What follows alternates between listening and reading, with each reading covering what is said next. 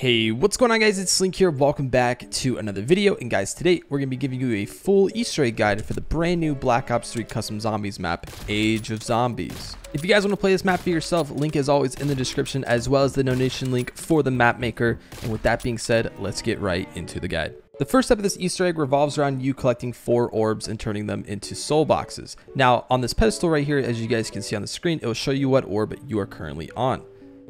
The first orb is located inside the saloon on top of this chair right here. Once you've collected the orb, you're going to head back to the middle of the map as shown in the video right now, and you will place the orb onto the pedestal that we showed earlier.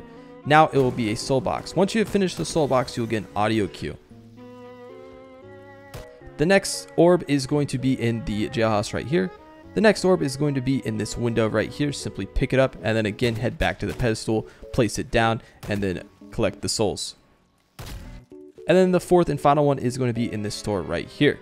Once you have finished all of the orbs, you will now get a key as a reward. You will use this key to open up the jailhouse cell.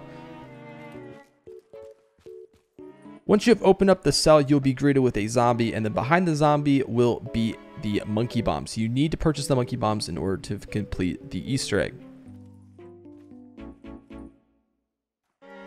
Next, we are going to focus on the cart. So this cart right here on the map is actually pushable. Simply push it by running up to it and sprinting.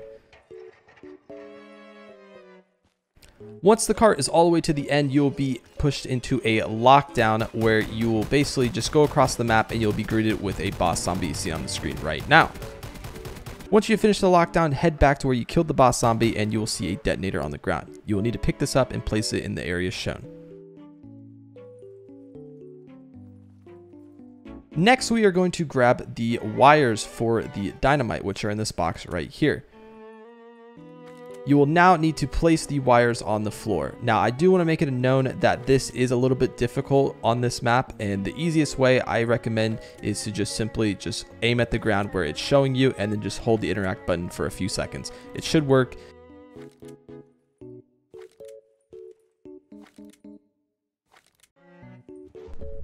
Next, we are going to actually detonate the dynamite. You will need the monkey bombs that we talked about earlier, and you will throw the monkey bomb towards the dynamite and the cart, and then run over to the detonator and activate it as such. You'll be greeted with a cutscene, and congratulations, you have successfully beaten the Age of Zombies Easter egg. Hope you guys enjoyed this video. If you guys want to see more videos like this in the future, make sure you guys hit the like button, subscribe to the channel if you guys are new.